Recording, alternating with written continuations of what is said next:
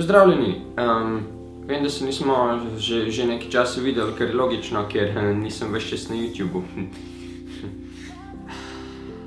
Vem, da je ne full basic vrsta videa, ampak včasih ga je fajn narediti, zaradi tega, da lahko odgovorim na vaše vprašanje, seveda. Zaradi tega, ker nimam časa odgovarjati na video posnetkih, na videih, ki jih objavim, ker pač nimam toliko časa. Iskreno povedano. Drugač, preden začnem, sam rad to povedal, da sem zdaj v oni sobi, ki mu je dala babi. Uh, ja. Ne, prvo vprašanje. Fabian, mi daš telefon. A si že zlomil roko ali pa nogo v lifeu? Seb? Ne. Kaj še mu drugmu? Tudi ne. Živijo urih. Naj ti prvo povem, da si zelo redo youtuber, spremljam te že od samega začetka. Tvoji videi so popolni in dobro narejeni. Imam pa nekaj vprašanje namreč. Če bi se mogel odločiti, kaj bi izbral, Najprej bom rekel hvala. Uh, zelo veliko mi pomeni tudi to iskreno povedano. Se pravi, ko zdaj razumemo, moram zbirati med dvema stvarima. Šola ali YouTube. Ta dobra, zaradi tega, ker nisem prepričan, kaj bo čez ene par let. Se pravi, če mi šola ne bo nič prav prišla, pa bom postal YouTuber, bolj znan in bom mogoče rok živel od njega, čeprav zaenkrat to ni mogoče. Ampak, če predpostavimo, da lahko, pol bi izbral YouTube, jasno, ampak če pa ne, pa pa šolo sprav, je pa jasno, da mi je YouTube veliko bolj zanimiv in boljši kot pa šola. Kaj pa tebi, Fabian? Naslednja stvar. Služenje denarja s službo, oziroma služenje denarja z YouTubeom. Ja, če je YouTube tvoja služba, pol pač tukaj ni debate. Življenje v Sloveniji ali pa življenje izven Evrope. Izven Evrope. BMW, Audi. Iskreno povedano, mene to priti ima čisto. Vem, se pravi, čujem za vse fanatike avtomobilov. Ne vem, no, pač ne, vem, kjer ga bi izbral.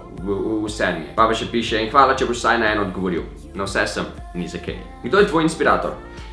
Mm, iskreno povedano, nimam nekega konkretnega, imam pa pač enega youtuberja, ko v bistvu ni čist youtuber, ampak to, kar dela občasno objav tudi na YouTube. To je Matt Como. Pač moj življenjski cilj je, da bi znal delati tako dobre videe kon in boljše. Če vas zanima, kaj dela, se se lahko pogleda, ampak v bistvu potuje in je plačen za to. Hashtag ripur kot telefon. To ni vprašanje, ampak hvala ceno. Ko si bil majhen, kaj si hotel postati? Hotel sem postati policist, pilot, strojvodja, rekel sem, da bom imel letalo, ladjo, vlak in da bom vse pospravil v našo garažo. Na katero šolo hodiš? V šolo ne hodim, ker je ful predelač in če bi vsak dan hodil v šolo, bi porabil glihene tok časa, da bi zjutraj štartil in zjutraj prišel na prvo uro. Nasleden dan. Ampak ja, se pa vozim z avtobusom oziroma občasno z avtom na gimnazijo Ljudina. Uf! Ok, tukaj jih je kar dost. Um, oh, mislim, da vem, kdo je to.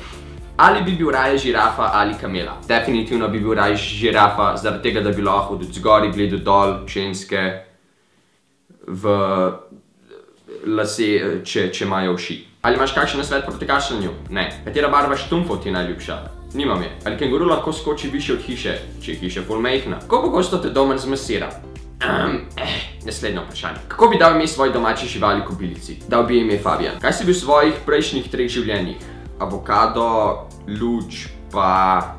Pismo ta, ta prvega se pa ne spomnim. To je že dolg nazaj. Kdo dela najbolj kul zapestnice? Ti, ne Šubic. Kakšne metode uporabljaš na vzgajanju Fabiana? Reče se pri vzgajanju Fabiana, ampak... Um, če bi malo pomislil, bi lahko ugotovili, da ga ne vzgajam, ker je grozen vzgojen oziroma ni vzgojen. Ej!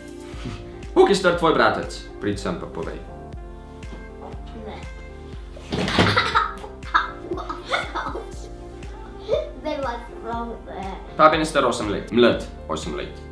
Ne vem, zakaj bi ljudje pa 8 letih stari. Mene drugače zanima, če spremljaš druge youtuberje, kjer je ali pa ne sprašno, kakšne teme ponavadi srčas na YouTubeu.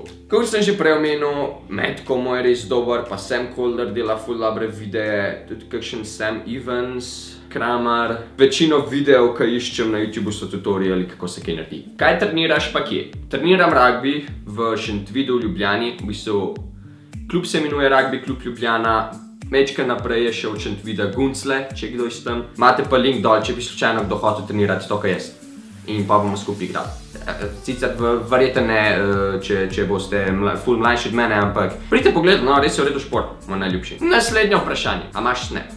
Ja, kako to, da si si že kupil kamero? Kamere si še nisem kupil. Tvoj najljubši stol?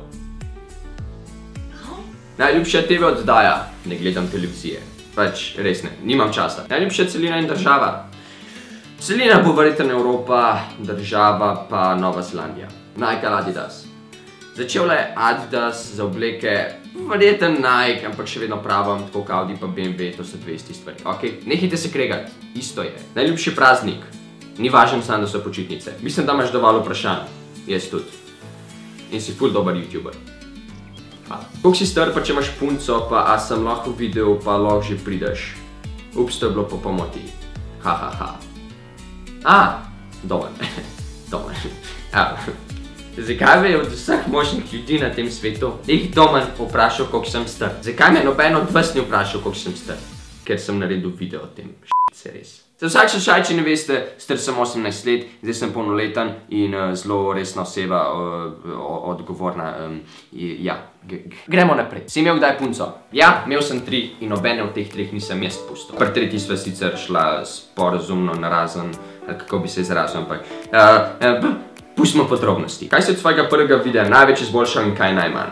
Ne vem točno, kaj bi moj prvi video, ampak definitivno povem, da sem zboljšal kvaliteto in snemanja in editanja. Ker je dosti logično, kaj sem najmanj spremenil? Fabijana. Kaj? Ja, ti si nepopolšljiv.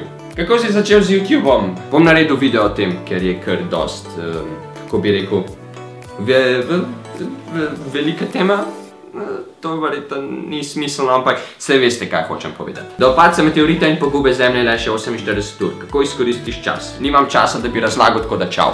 Imaš kakšno domačo žival? Mam, tri, Fabena Lorencija pa gre to. Kaj je spet? Ne mote. V moji kroksici so. Tvoji cilji za življenje? Rad bi snemu videe za druge, pač ko profesionalno, pred bil plačan za potovanja, sprav, da mi v bistvu eno podjetje plača denar za to, da plača denar.